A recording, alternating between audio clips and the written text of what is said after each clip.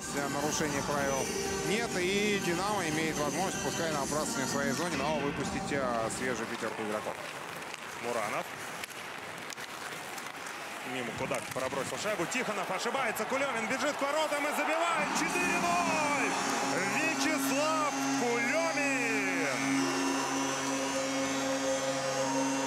Всех попытках Северстали вполне достойны а, добраться до своей первой заброшенной шайбы в сегодняшней игре. Динамцы своими шансами пользуются куда а, лучше. Ну и четвертая заброшенная шайба московским «Динамо» становится последней для Подъепольского.